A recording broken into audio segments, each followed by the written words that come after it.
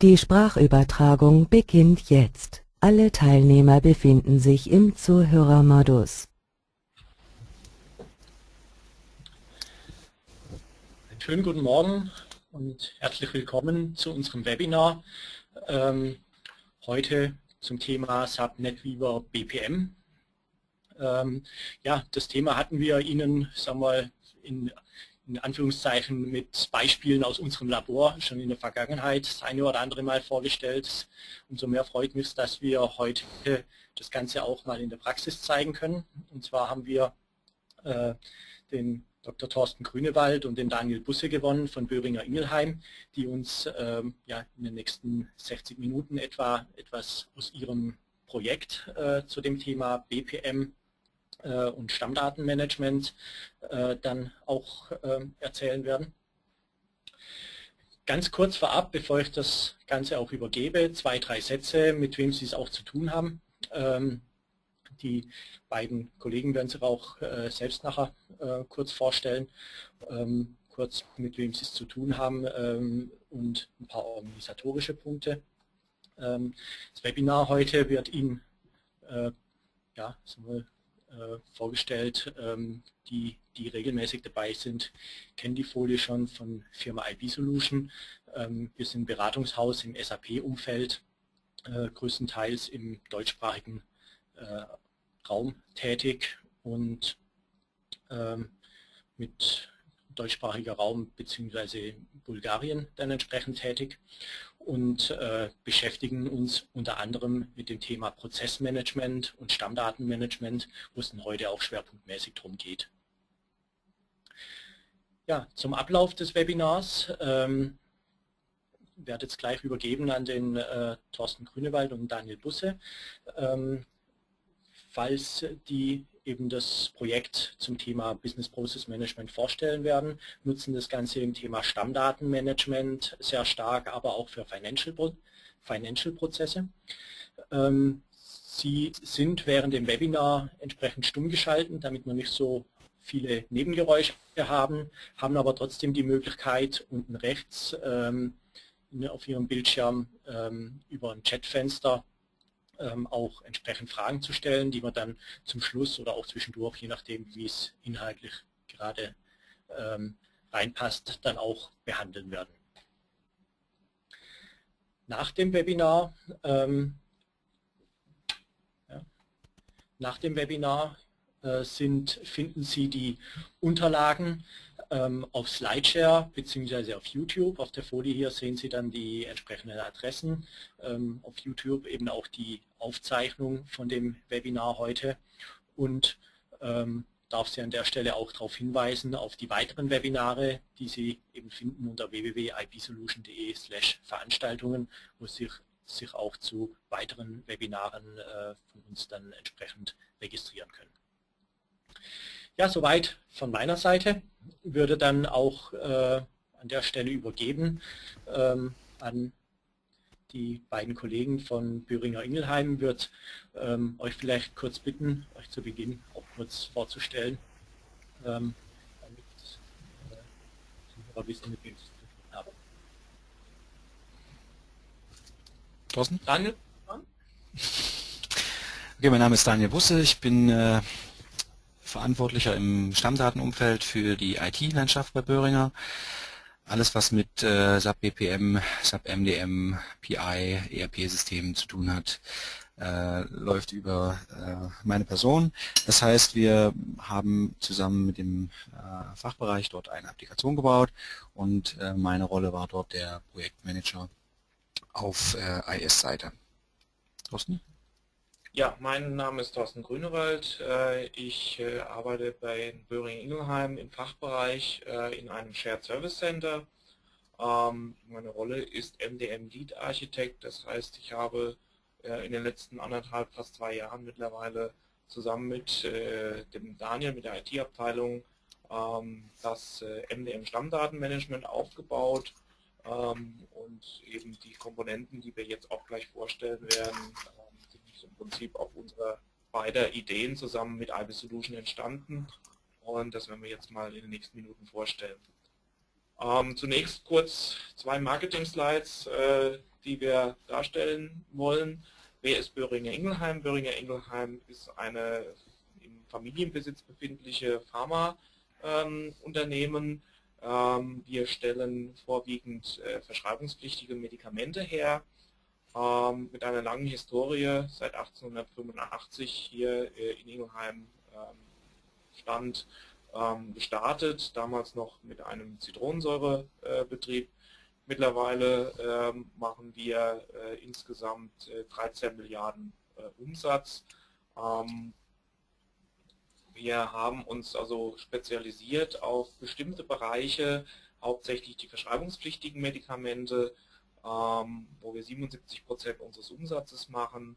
Ähm, Spiriva, Mikadis, Pradaxa, das sind so die Blockbuster im Augenblick, die wir haben. Viramone ähm, ist auch noch ein AIDS-Medikament.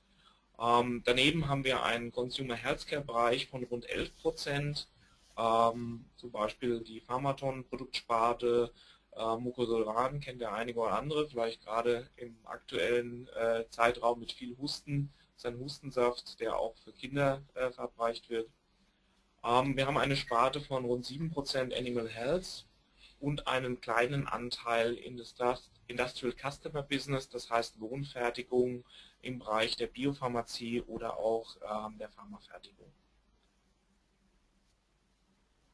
Ja, ich hatte vorhin gesagt, dass wir einen Shared Service Center haben bei uns hier bei Böhringer, ähm, das sogenannte Global Business Services. Ähm, das ist ein, ein Standardansatz, so wie ihn viele Firmen heutzutage fahren. Ähm, es geht um Standardisierung, Automatisierung von Prozessen, ähm, von Konzepten, von Stammdaten, aber auch das Leisten von Services. Das heißt, der klassische Service-Scope. Im Augenblick im Scope haben wir Finanzen, Einkauf, äh, Operations, ein Teil von HR und IT wird äh, auch ebenfalls im Shared Service Scope äh, sein.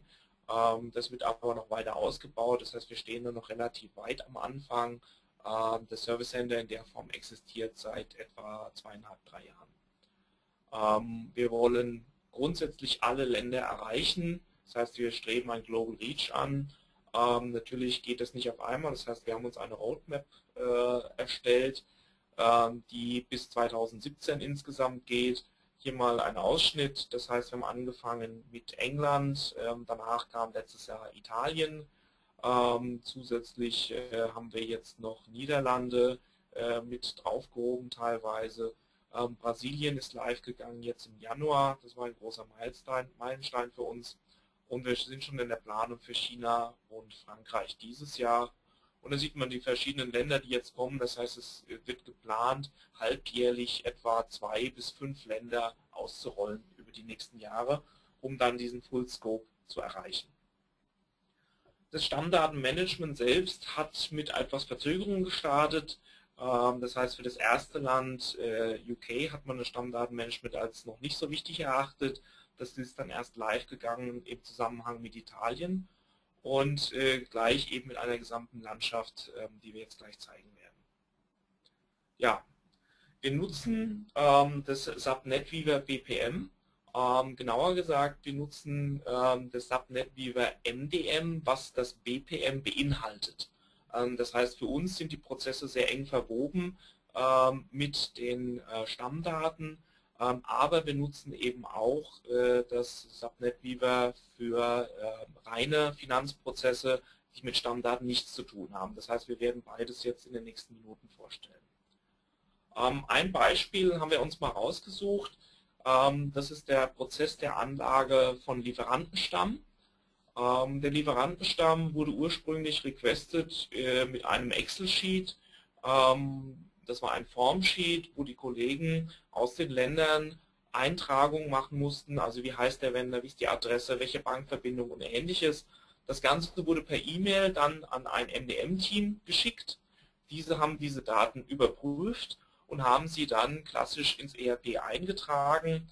Ähm, dann gab es immer wieder Rückfragen, es gab Probleme, ähm, dass die Daten nicht konsistent waren, ähm, es wurden Duplikate angelegt das heißt, das Ganze war sehr aufwendig. Ähm, dann wurden weitere Inhalte requested. Das heißt, es wurde gefragt, ähm, hat dieser ähm, Lieferant überhaupt eine Lizenz, das äh, für uns zu liefern, hat er einen Vertrag, es ging also Vertragslagen, es ging ein ständiges Hin und Her, bis diese Daten letztendlich im SAP drin waren.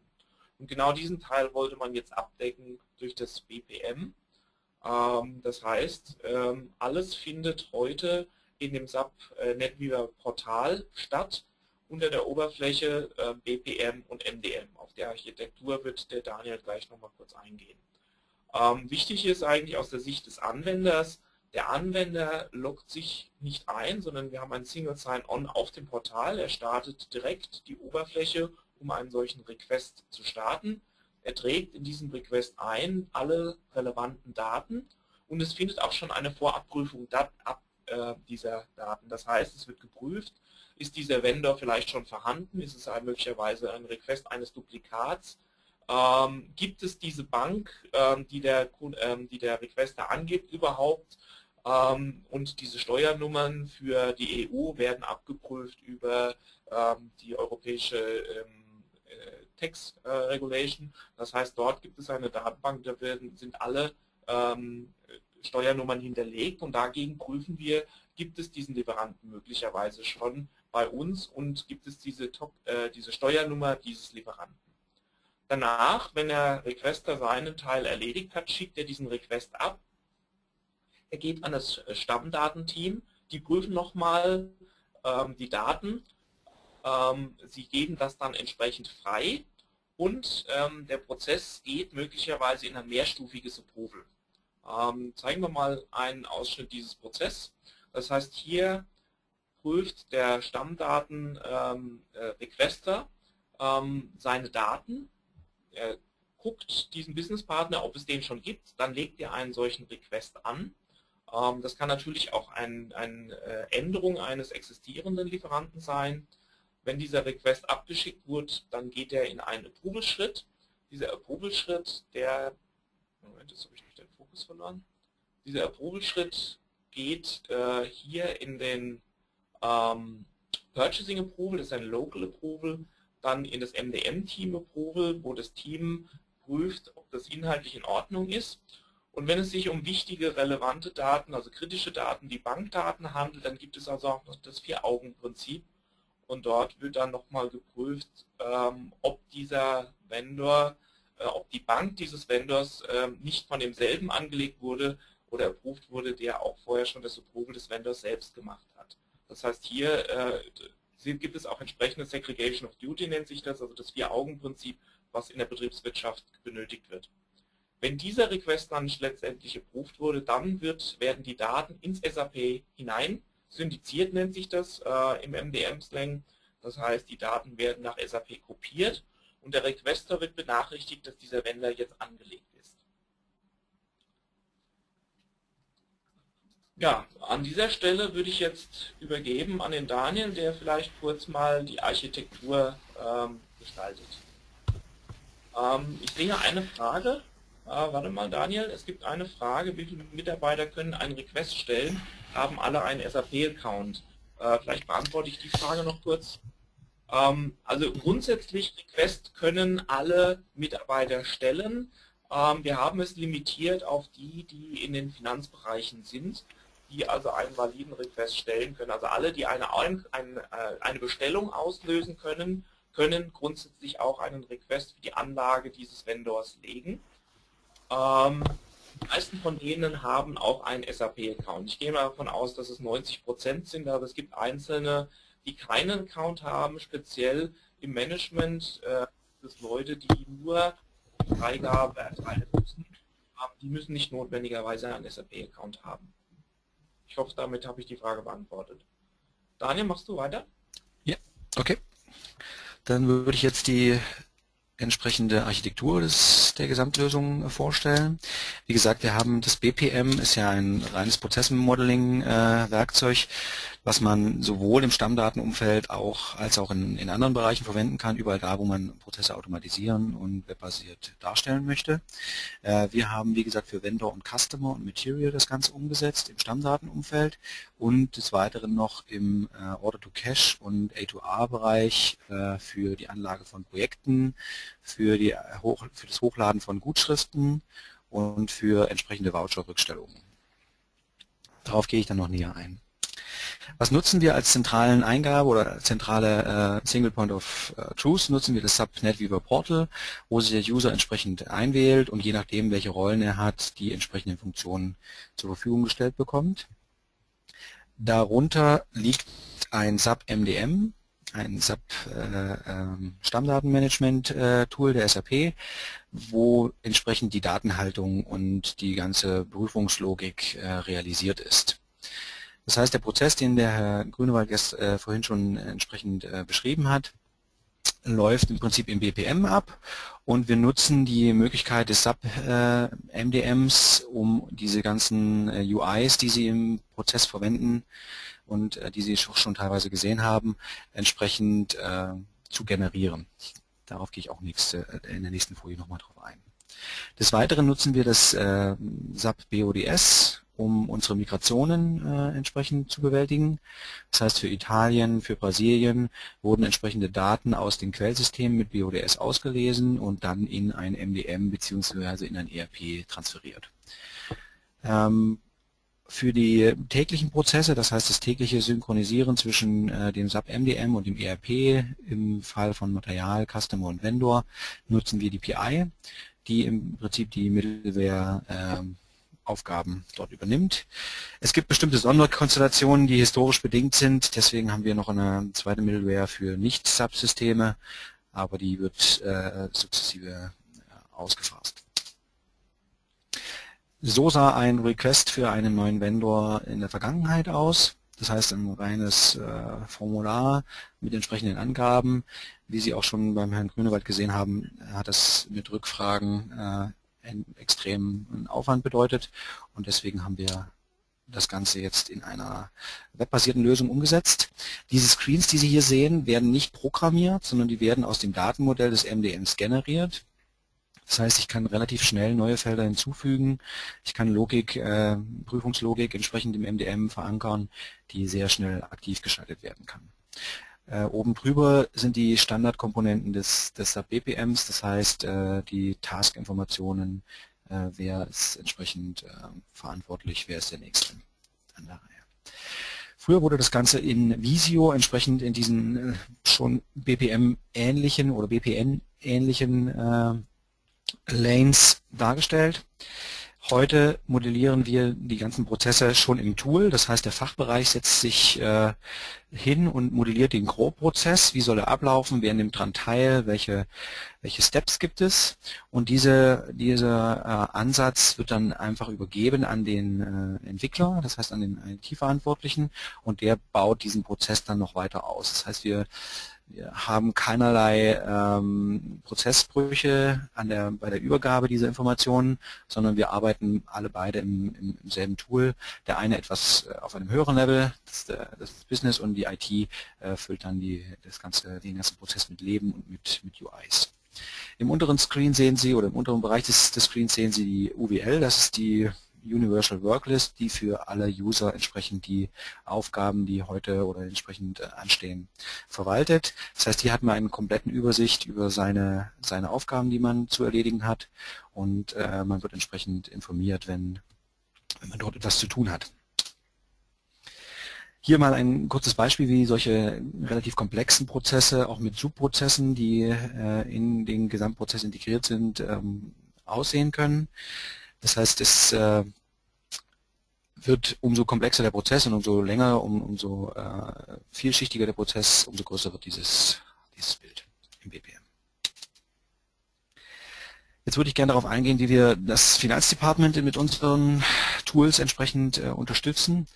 Das heißt, auch hier war es früher so, dass der Prozess sehr ein, ein relativ äh, unterbrochener war. Das heißt, es wurde mit Outlook und Excel gearbeitet, es wurden Requests per E-Mail verschickt und am Ende musste jemand das äh, ins SAP eingeben, nachdem er nach mehreren Rückfragen alle Informationen zusammen hatte und hat dort, dort aus dem SAP gemerkt, ob die Eingabe überhaupt funktioniert.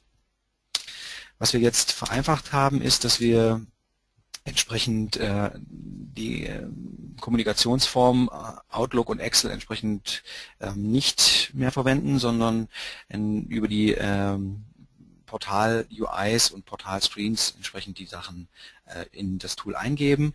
Wir validieren das Ganze vorab, bevor es überhaupt mit dem ERP in, in Kontakt kommt. Das heißt, der User hat Möglichkeiten, Excel hochzuladen, er hat Möglichkeiten, Einzelrequests zu stellen, aber er kann auch 50 Buchungen, 50 Gutschriften für die Credit Notes entsprechend gleichzeitig hochladen. Das würde ich jetzt hier nochmal ganz kurz näher erklären. Das heißt, der User gibt es ein, man hat äh, in der Mitte des Bildschirms hier mal so eine Maske, wie das aussieht, wenn Sie in Excel hochgeladen haben. Das heißt, es wird in Tabellenform dargestellt. Man kann die Tabelle validieren in, dieser, in diesem UI. Er prüft auf vorhandene Kostenstellen, er prüft auf vorhandene Accounts, der Account äh, überhaupt fürs Buchen äh, äh vorgesehen. Also vielerlei Prüfungen sind hier verankert, die aber aus dem SAP gezogen werden. Das heißt, es sind keine Prüfungen, die jetzt hier im Screen oder in der Maske irgendwie hart codiert sind, sondern es sind dieselben Prüfungen, die Sie auch äh, hätten, wenn Sie den Request einzeln im ERP eingeben würden. Danach, nachdem alles eingegeben ist, machen wir ein Test-Booking. Das heißt, wir führen einen, einen Baustein auf ERP-Seite testweise aus und gucken, könnte diese diese Kombination an Daten denn verbucht werden. Sie sehen hier unten im unteren äh, Bildabschnitt äh, die Fehlermeldung bzw. Erfolgsmeldung, falls ähm, das Testbooking funktioniert hat und nur dann kann der Requester überhaupt diesen Request an den, an den Approver weiterleiten. Das heißt, nur wenn ein Testbooking erfolgreich war, geht, äh, geht, die, geht der Prozess überhaupt weiter.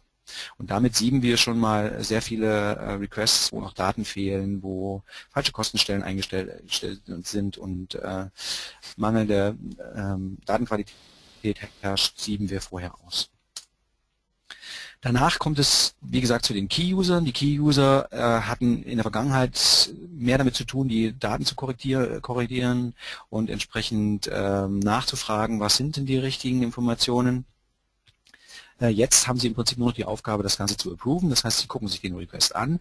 Sie haben auch keine Möglichkeit mehr, was zu ändern. Sie haben nur die Möglichkeit, das Ganze zurückzuschicken. Das heißt, Sie können mit Anmerkungen das Ganze zurückweisen, sodass es auch einen gewissen Lerneffekt bei dem, bei dem Requester gibt. Ähm, und wenn der Approver dann, der aus dem Finance Department, äh, das Ganze freigibt, dann geht es wirklich der, die richtige Verbuchung ins ERP los. Das heißt, dann versucht BPM äh, entsprechend diese Daten auch im ERP zu generieren. Wir sahen uns dann, äh, nachdem dieses, dieses Tools WPM äh, einen relativ großen Erfolg im Böhringer Konzern ähm, hatte, sahen wir uns gezwungen, eine möglichst effektive Projektstruktur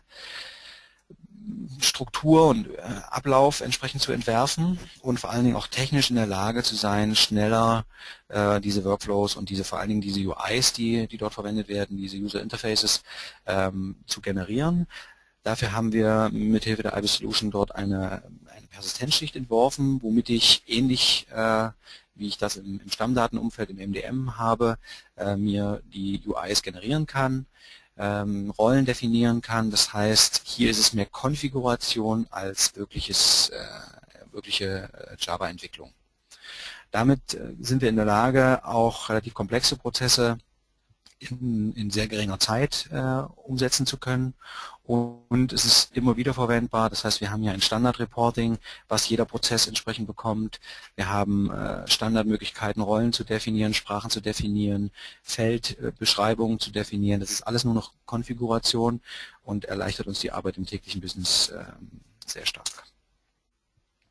Hier nochmal, hier kann ich entsprechende äh, Feldbenamungen, wie möchte ich das im, im, BPM benannt haben, wenn es im ERP aber so heißt, äh, welcher Feldtyp ist es, das kann ich alles einstellen und kann das Ganze dann als Excel runterladen und dann in einer entsprechenden Ziellandschaft wieder hochladen. Das heißt, der Transport hierüber ist auch sehr, sehr einfach.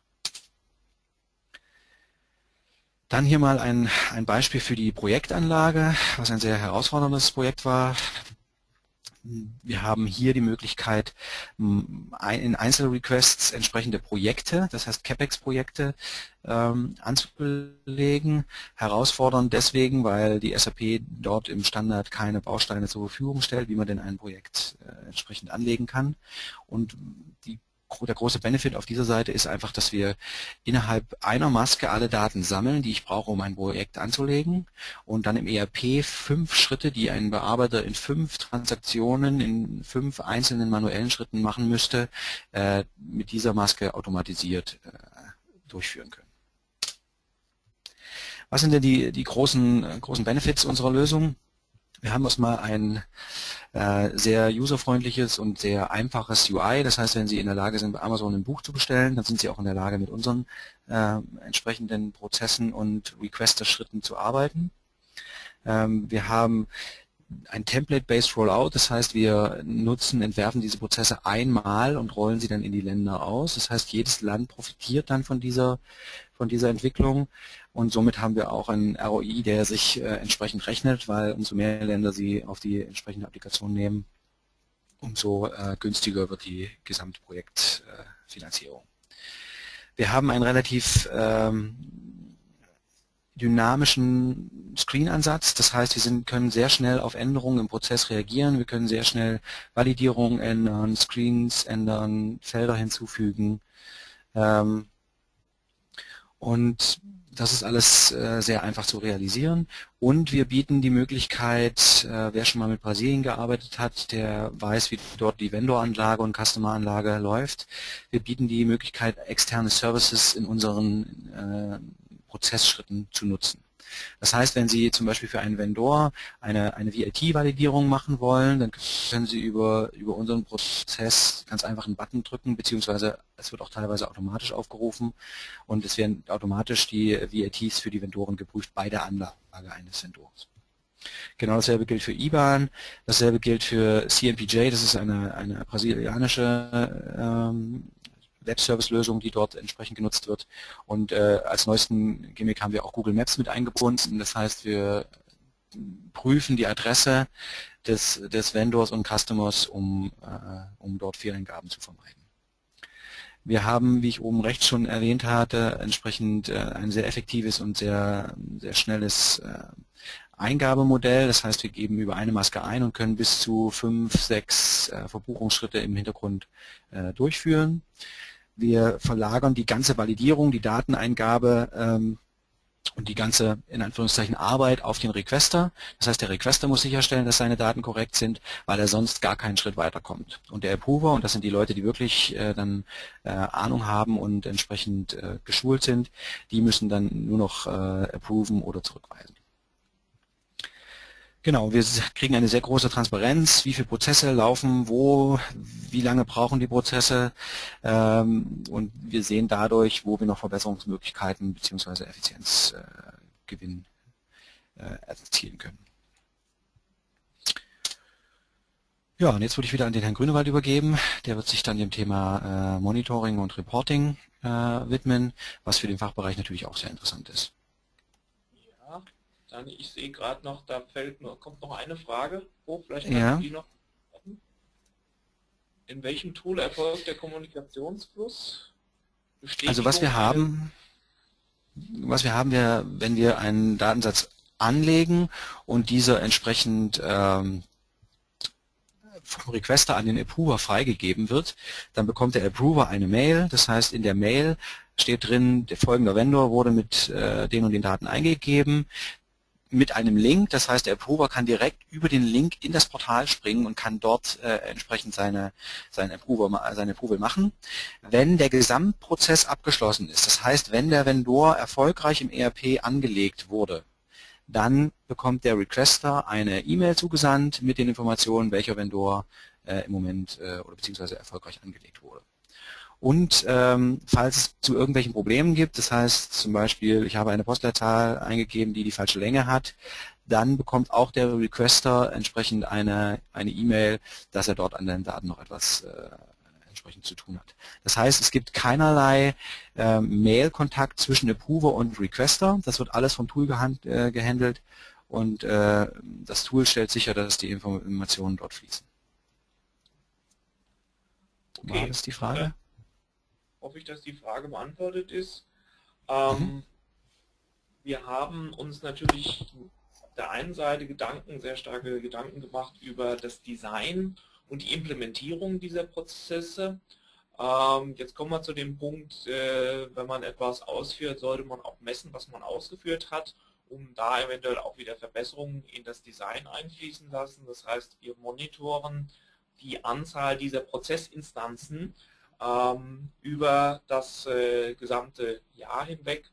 Ähm, hier habe ich mal einen Ausschnitt vom letzten Jahr plus Januar diesen Jahres ähm, gezeigt. Das heißt, was wir sehen, sind die Anzahl der gestarteten Prozesse, ähm, die jeweils im Monat äh, gestartet wurden und möglicherweise offen oder abgeschlossen wurden. Ähm, das heißt, wenn wir links anfangen im Januar letzten Jahres, das war direkt nach Go Live, hatten wir sofort um die 1100 äh, Prozessor, äh, Prozesse für Vendor. Das heißt, da wurden 1100 Requests gestartet für Vendor Requests. Ähm, wir haben auch schon gleich mit einem der nicht äh, stammdatenbasierten Prozesse, nämlich diesem Credit Node Prozess gestartet. Ähm, auch da hatten wir direkt instantan 160 oder 161 Prozesse.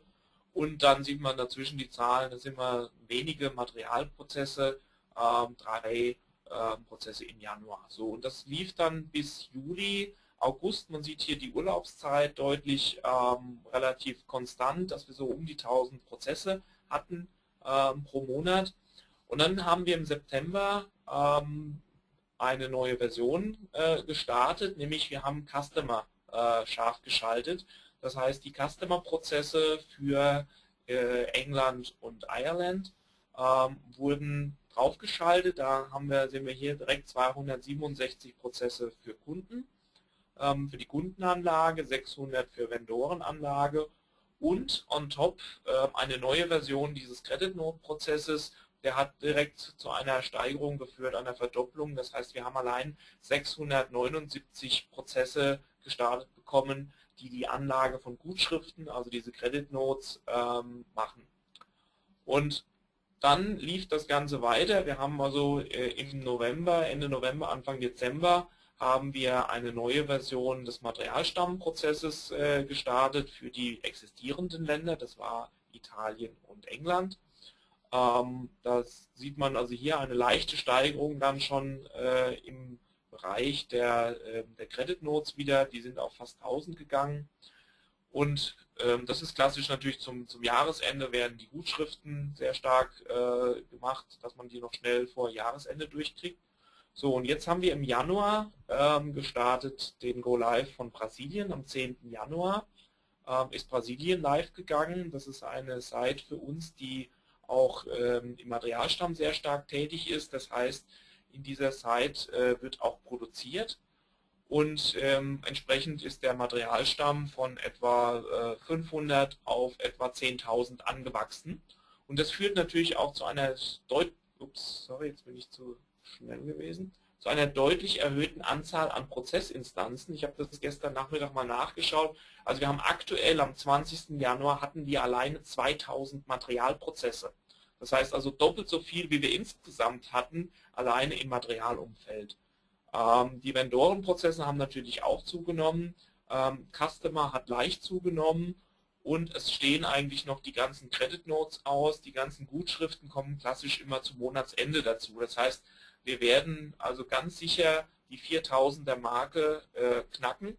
Das heißt, ich schätze mal, dass wir bis zu 5000 äh, Prozessinstanzen alleine im Januar haben werden, ähm, gegenüber 1000 für äh, das Jahr vorher. Das heißt, wir reden da von einer von Verfünffachung der Prozessinstanzen. Ähm, wir messen natürlich nicht nur ähm, die Anzahl der Requests, ähm, sondern wir messen auch, wie lange dauert denn so ein Request. Denn wir haben ein MDM-Team und dieses MDM-Team muss auch einen Service-Level erfüllen. Und dieser Service-Level sagt heute, dass also die Anlage eines Materials, eines Vendors oder eines Kunden äh, nicht mehr als 24 Stunden dauern darf äh, im MDM-Team.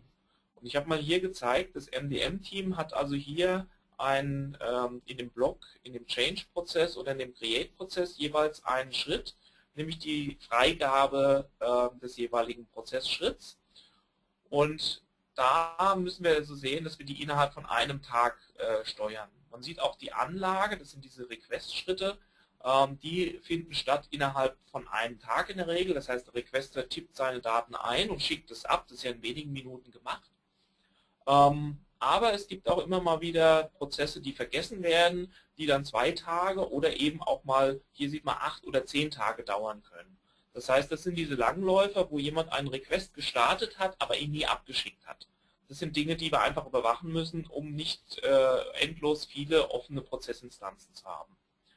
Ähm, des Weiteren können wir hier in dieser Chart auch schön sehen, dass also das MDM-Team mit seinen Schritten, das wären diese MDM-Schritte, und auch das RBS-Team, was organisatorisch dazugehört, in der Regel innerhalb seines Service-Level von einem oder kleiner einem Tag bleibt. Ähm, wenn wir das nochmal runterbrechen auf die einzelnen Prozessinstanzen, hier sieht man mal das Beispiel, ähm, das ist ein Ausschnitt von einigen von diesen 1000 Prozessinstanzen. Also hier gab es einen Change-Prozess für diesen ähm, Vendor und der wurde innerhalb von wenigen Minuten, also das ist die Einheit ist halt Tage, aber das sind dann 0,089 Tage. Das heißt also innerhalb von wenigen Minuten wurde dieser Request abgearbeitet und das ist genau das, diese beiden roten Balken, an denen das MDM-Team gemessen wird und auch beurteilt wird. Ähm, hier sehen wir mal ein Beispiel eines solchen Standardreports, ähm, das heißt der SLA, das Service Level Agreement sagt, die Anlage von Vendor Master Request innerhalb von 24 Stunden. Das Target davon, 90% müssen erreicht werden. Und hier sieht man also für UK und Ireland, die gehören organisatorisch zusammen, ähm, haben wir dort im Juni bei 97% gelegen. Ähm, und im, für den Vendor Master von Italien haben wir ebenfalls bei 97% gelegen. Das heißt, hier hat man also den Service Level erfüllt. Da sieht man diesen Plus hinten dran. Äh, Im Juli war es dann sogar noch besser, aber da war, sieht man auch deutlich die Urlaubszeit. Ähm, Entschuldigung, ich bin weitergesprungen. Die Urlaubszeit, die dazu führt, dass auch die Anzahl der Requests runtergegangen ist. Für den Customer Master, ähm, den haben wir eigentlich offiziell erst im September gestartet. Wir haben vorher äh, auch diesen Service Level gemonitort. Dort fand auch eine Anlage statt, nämlich direkt im ERP. Und da sieht man schon die Schwierigkeiten, den Service Level zu halten, das war einfach mit den damaligen Zeiten nicht möglich. Ähm, hier müsste ich mal den neuen Standardreport raussuchen. Ähm, also Stand heute gehe ich davon aus, dass wir auch hier bei 97 bis 99 Prozent Erfüllung sind. Ähm, hier mal ein Beispiel, wie wir diese Langläufer auch noch analysieren. Wir schauen uns einfach an, wenn äh, die Durchschnittszeit, also die Processing Time, äh, oder die Wait Time hochgeht, wie hier in diesem Prozess, ähm, dann untersuchen wir diesen Prozess und können diesen Prozess gegebenenfalls abbrechen. Hier sieht man also 100 Tage, das ist natürlich viel zu lange und davon gehe ich aus, ähm, dass wir solche Prozesse dann einfach, entweder schreiben wir den Requester an oder wenn es sehr viele ist, dann werden die manuell ähm, gestoppt. So, jetzt sehe ich hier eine Frage. Die Anzahl der Prozessinstanzen sind ja maßgeblich für das Sizing. Wurde hier beim Sizing richtig geschätzt? Ähm, setzt man auf eine virtualisierte Umgebung und baut immer weiter Hardware hinzu? Ähm, ist eine sehr gute Frage. Das äh, war genau die, das Thema, weshalb wir dieses Slide entwickelt haben. Ich gehe nochmal zurück. Ähm, Slide, dieses hier, ähm, war für uns sehr wichtig in der Schätzung, wie viele Prozessinstanzen haben wir denn ähm, und wie viel werden wir haben. Das heißt, die Schätzung deckt sich nicht ganz. Wir sind also von einer mehr als Verdopplung ausgegangen für Brasilien. Ich gehe aber davon aus, dass wir hier initial in Brasilien sehr viele Überarbeitung von migrierten Daten haben. Wir gehen davon aus, dass wir also hier einen Peak haben, führt, dass wir im Februar möglich, möglicherweise wieder ähm, weniger haben. Also ich würde schätzen, ähm, dass wir unter 3000 äh, bleiben sollten pro Monat. Ähm, wir haben uns äh, vor etwa einem Jahr, als wir gestartet haben, ähm, mussten wir uns beschränken auf einen Clusterknoten. Ähm, dort gab es noch ein Problem mit dem SAP-Werkzeug, ähm, das es nicht erlaubt hat, mehr als einen Clusterknoten zu betreiben. Wir werden jetzt äh, im März voraussichtlich ähm, das Service Pack 8 einspielen und dann auch mehrere Clusterknoten betreiben können. Das heißt also aktuell diese 5000 oder 4000 Requests laufen auf einem einzigen Clusterknoten, ähm, was keine Performance-Probleme mit sich bringt, aber natürlich Stabilitätsprobleme. Wenn dieser Clusterknoten stehen bleibt, dann äh, müssen wir im Prinzip den äh, Knoten neu starten, weil es keinen Failover-Betrieb im Augenblick gibt. Man muss, man muss dazu noch sagen, dass dieses Problem mit dieser, mit diesem einen Clusterknoten nur auftritt, wenn man asynchrone oder wenn man asynchrone äh, Prozessnachrichten äh, Richtung irgendwelcher Systeme schickt und dann auf eine Antwort wartet. Das heißt, wenn man wie bei diesen ganzen A2R-Prozessen, die ich vorhin gezeigt habe, nur im BPM und im ERP arbeitet und dort keine asynchrone, äh, sondern eine synchrone Verbuchung macht, dann hat man damit kein Problem. Das heißt, dann kann man äh, locker auf drei, vier Knoten hochgehen und dann ist die Maschine unten drunter auch einigermaßen ausgelastet. Bei uns ist es so, dass sich die Maschine unten drunter langweilt und der Applikationsserver schon ziemlich stark belastet ist im Moment. Aber das werden wir mit einem Upgrade in naher Zukunft dann beheben. Also Stand heute haben wir also keine Performance-Probleme, aber man sollte auch nochmal berücksichtigen, dass zu diesen fast 4000 Prozessinstanzen ja immer noch Tasks gehören. Wenn man mal einen Schnitt von jedem Prozess äh, mit drei, vier parallelen, teilweise parallelen Tasks ausgehen, ähm, dann reden wir also wirklich von äh, schon rund 16.000 Tasks, die dort pro Monat abgearbeitet werden. Also das ist durchaus eine Last, ähm, die auf der Maschine passiert, aber die das im Augenblick eigentlich noch relativ zügig wegsteckt. Ähm, da sind wir eigentlich ganz guter Dinge, dass das auch funktioniert. So. Ja, jetzt bin ich eigentlich schon über ähm, einen Schritt hinweg. Das heißt, das Reporting und Monitoring haben wir durch. Ähm, ja, was kommt denn da noch, ist äh, von einigen die Frage gewesen ähm, an uns im Team. Ähm, wir haben uns besonders äh, äh, beschäftigt mit dem Thema BPM und MDM in den letzten anderthalb, fast zwei Jahren. Ähm, wir sind dabei, auch die Prozesse zu optimieren. Im Grunde genommen, wir werden dieses Jahr das System erstmal stabilisieren ähm, und versuchen, möglichst robuste Prozesse zu, äh, zu bekommen. Das heißt, Prozesse, ähm, wo das Fehlerhandling nicht zu einem technischen Fehler führt, sondern zum Beispiel an den Requester zurückgeht, an das MDM-Stammdatenteam. Das haben wir schon im letzten Jahr gemacht ähm, wo wir auch äh, aussagekräftige Fehlermeldungen bekommen, weil es immer wieder auch Probleme gibt, dass unvollständige Daten aus der Migration heraus zu Problemen führen.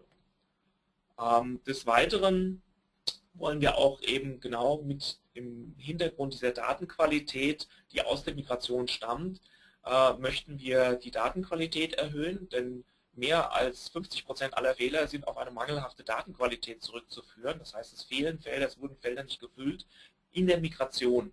Im Prozess überwachen wir das, das heißt, der an, derjenige, der einen, äh, eine Stammdate requestet, muss ja dort alle Daten angeben.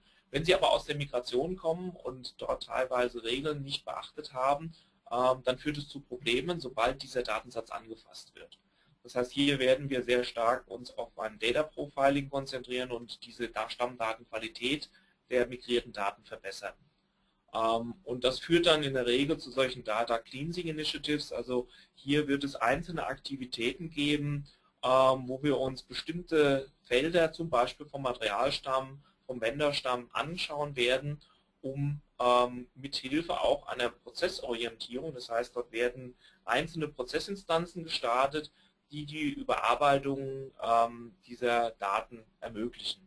Und der Daniel hatte kurz gezeigt, dieses Excel-Upload für äh, die betriebswirtschaftlichen Prozesse im A2A-Umfeld sind genau die gleichen ähm, äh, Prozesse, die wir dann nutzen werden, um auch solche Stammdaten, äh, Massenverarbeitung, sprich äh, so ein Mass-Cleansing von Daten zu gestalten, nämlich ich kann es dann herunterladen, ich kann es überarbeiten, ich lade es wieder hoch und schicke es in denselben Umlauf, um meine Stammdaten zu korrigieren. Das sind die Pläne so für dieses Jahr und natürlich noch weitere Länder. Ähm, es werden dieses Jahr noch zwei weitere Länder dazukommen. Ähm, nächstes Jahr auf der Roadmap, die hat man vorhin gesehen, kommen noch einige Länder. Das heißt, wir gehen davon aus, dass wir diese Lösung also in den nächsten Jahren in über 40 Länder ausrollen werden. Ja, das war es soweit. Ich möchte mich erstmal äh, bedanken ähm, für IB Solution, für die gesamte Unterstützung, die Sie uns in der Projektlaufzeit geleistet haben äh, uns sag mal, Rat auch zu kurzfristigen Fragestellungen immer eine gute Antwort gefunden haben. Vielen Dank erstmal und ich gebe zurück. Vielen Dank auch von meiner Seite. Ja, vielen Dank auch. von mir für den umfassenden Überblick. Ist ja auch immer ein bisschen Arbeit, was man sich dann macht, die Sachen auch vor, vorzubereiten, um da das Webinar dann auch zu halten. Ja, äh, ein paar Fragen kamen ja während der Präsentation schon. Gibt es noch weitere Fragen an die beiden Moderatoren?